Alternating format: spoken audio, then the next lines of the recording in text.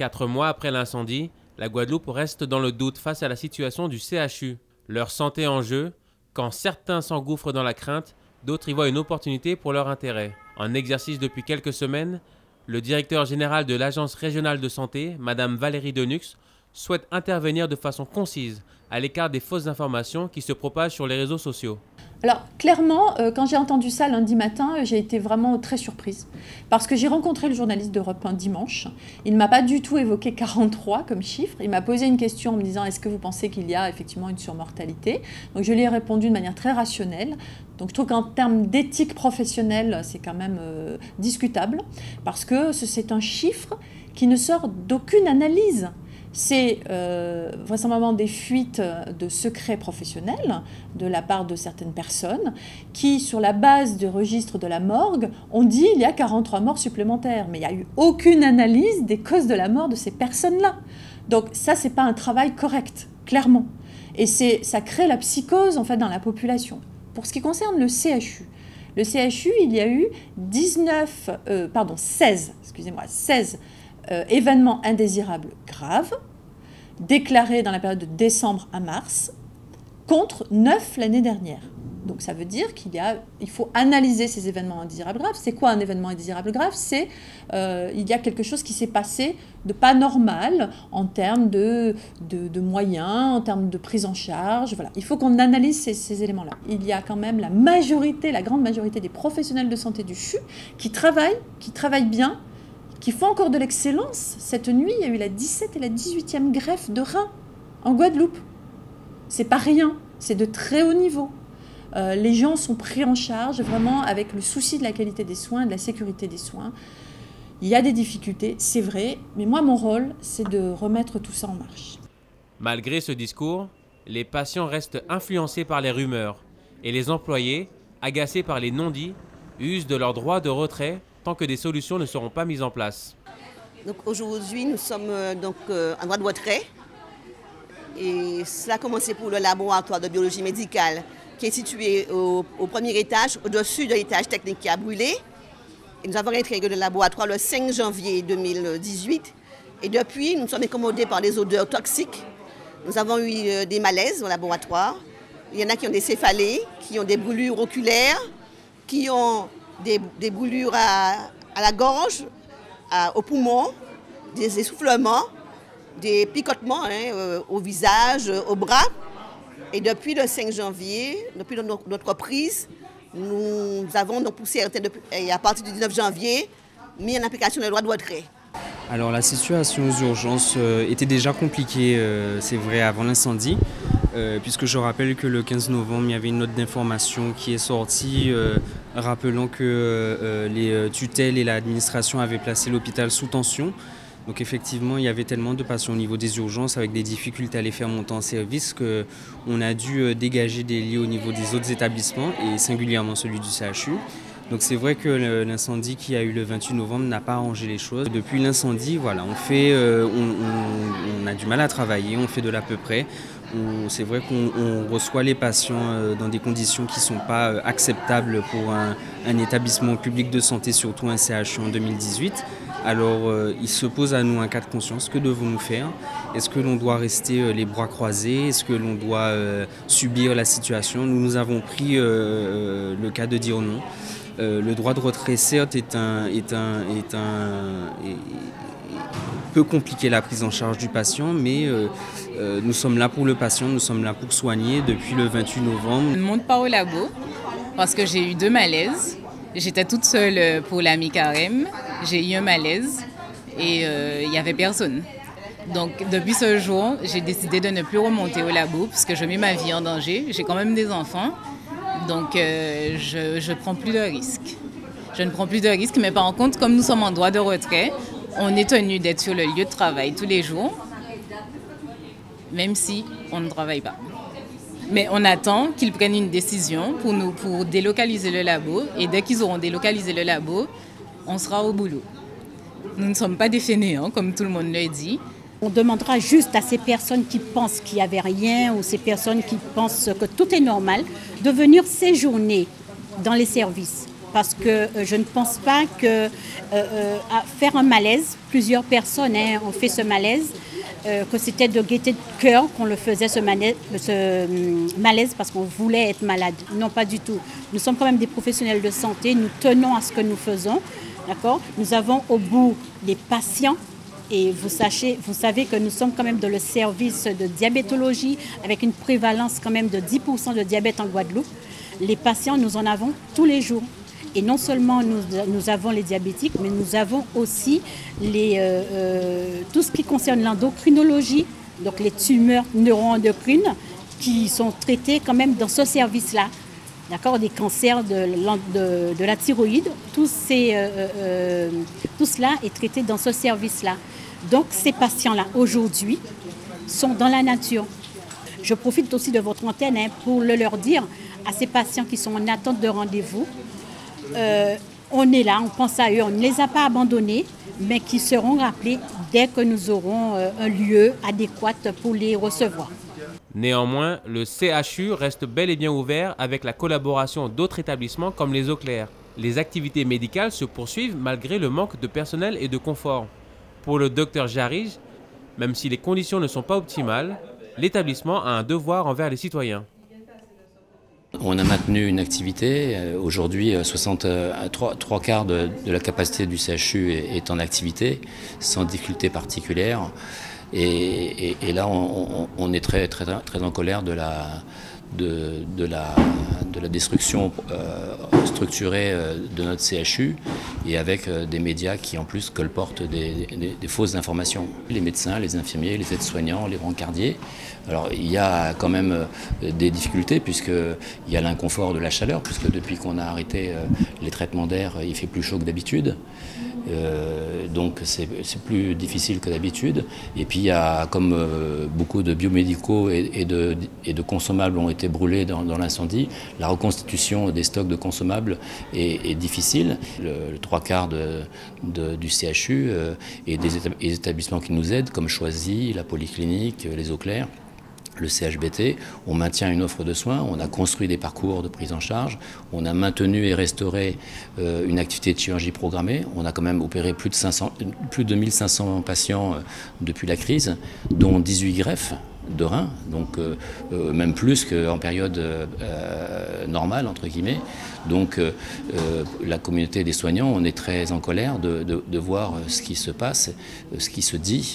C'est 7 jours sur 7, c'est H24, et donc la constitution des équipes soignantes devient compliquée.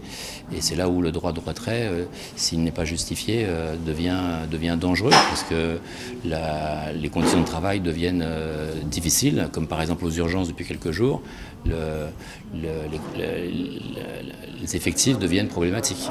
Le problème, c'est qu'un CHU, par définition, sa mission, c'est de faire les soins les plus complexes, les plus, euh, les plus sophistiqués. Et, même si on a reconstruit une, une, activité de chirurgie programmée avec l'aide des eaux claires et la polyclinique, les, urgences, les pathologies les plus lourdes, euh, les, défaillances cardiaques et neurologiques sont complètement dépendantes euh, du service de soins intensifs cardiologiques et du service de soins intensifs neurovasculaires qui sont au cinquième étage et qui ne se plaignent pas euh, d'un confort particulier en dehors de la chaleur. Là, ce, qui, que Europe 1 a, divulgué dans la presse, sur les médias sociaux et tout ça, c'est complètement euh, absurde, en plus euh, anti-déontologique. Je ne sais pas comment un journaliste peut, générer ce, type de message. Donc les, informations sont complètement fausses et l'Institut de veille sanitaire avec l'ARS, ils sont en train d'essayer de quantifier cette surmortalité qui a priori euh, doit certainement exister,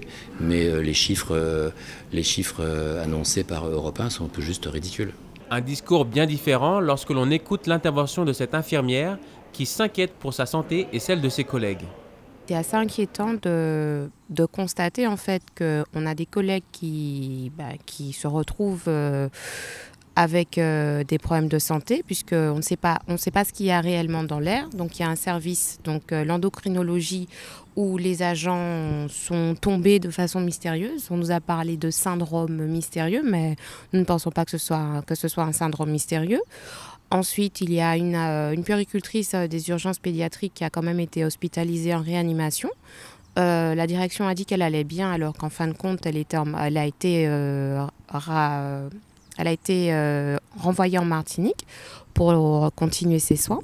Il y a également des médecins, donc le chef de service de la neurologie, le chef de service de de l'endocrinologie sont des personnes aussi qui ont été touchées par euh, ce qu'il y a dans l'air et jusqu'à l'heure actuelle on ne sait pas ce qui se passe réellement. On nous dit qu'il n'y a pas de conséquences nocives pour notre santé, mais c'est quand même assez préoccupant de voir que bah, des personnes se retrouvent malades et qu'on ne soit pas en mesure d'expliquer et qu'on nous dise que tout va bien, qu'il faut continuer à faire les soins et qu'on nous renvoie de manière presque vicieuse à nos responsabilités. Mais est-ce que eux, ils prennent les leurs? Euh, On ne peut pas nier que c'est angoissant et que ça peut faire peur. Euh, sauf que euh, on est en Guadeloupe et on n'a pas de, solution simple à proposer, euh, comme ça pourrait être le cas si on était dans une grande région métropolitaine. C'est qu'il n'y a, on s'est confirmé, pas de danger grave et imminent.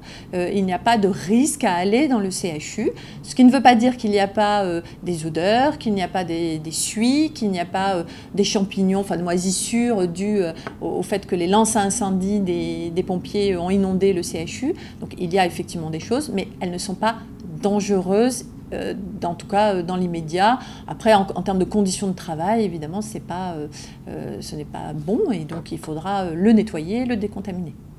Des dégâts qui impressionnent. Le respect des normes de sécurité au sein du CHU est un sujet qui faisait déjà débat depuis quelques mois. Pour le collectif de défense, cet accident était déjà à prévoir. Le syndicat UTSUGTG avait déjà alerté la direction depuis des années sur euh, la qualité du bâtiment au niveau incendie électrique et ascenseur, comme quoi le bâtiment n'est pas bon. L'ARS a missionné euh, des euh, experts qui sont venus et qui ont évalué en 2016 à 11 millions d'euros le, montant nécessaire pour les travaux afin que ce bâtiment puisse être aux normes sécurité électrique, incendie et ascenseur. Rien n'a été fait.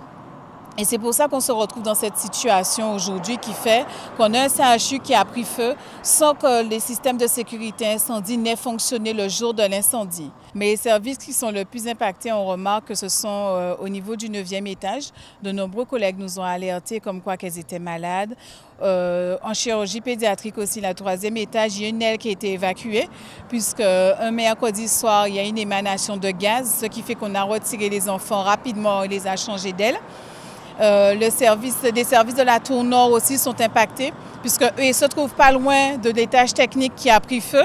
Et comme ils ont fait euh, un semi-calfeutrage, qui euh, c'est tout simplement une bâche qu'ils ont mis qui, se, qui est facilement déchirable. Donc il y a des émanations d'odeur aussi au niveau de la tour nord du bâtiment. Selon euh, les réunions que nous avons faites avec l'ARS et la direction, ils parlent même de supprimer le troisième étage de la maternité, le raser carrément, puisque l'infrastructure a complètement été euh, atteinte. Il y a euh, des fissures d'au moins 10 cm d'écart à certains endroits, le sol qui s'affaisse. Donc effectivement, la maternité est vraiment atteinte et c'est devenu un lieu de squat pour certains sans domicile fixe, les drogués aussi.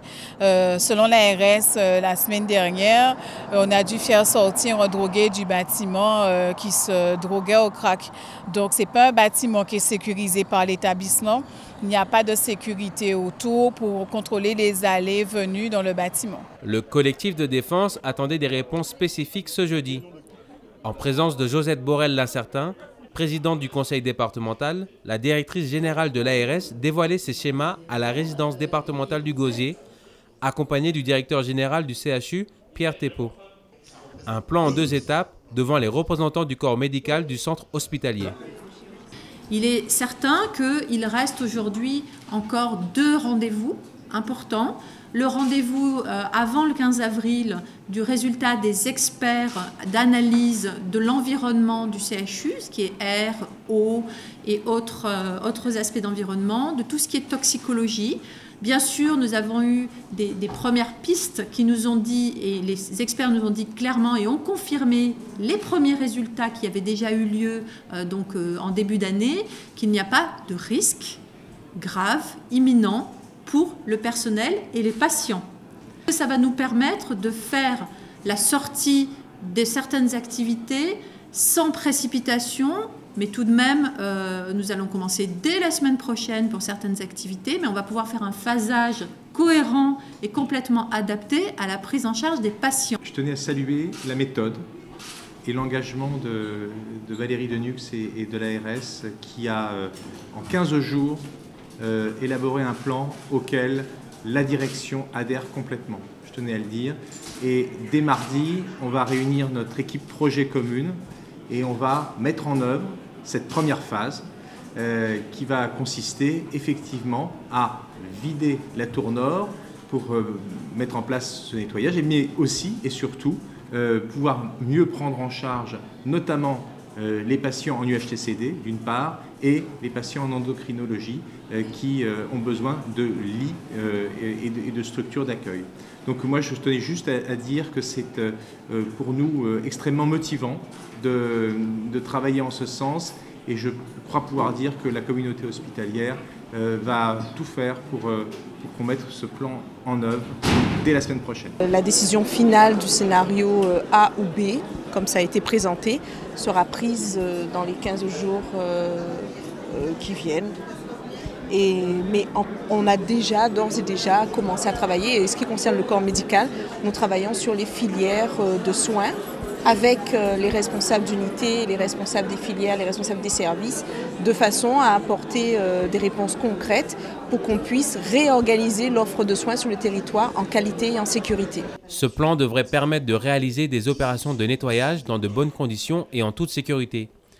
Selon la directrice de l'ARS, cette première étape pourrait débuter dès le 3 avril prochain.